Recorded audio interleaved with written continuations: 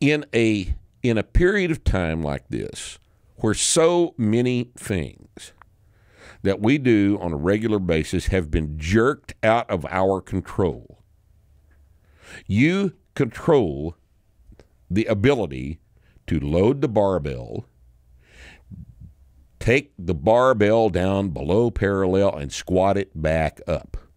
You control that. Nobody else does but you. And if you choose to do so and choose to challenge what you perceive your limits are, you can improve.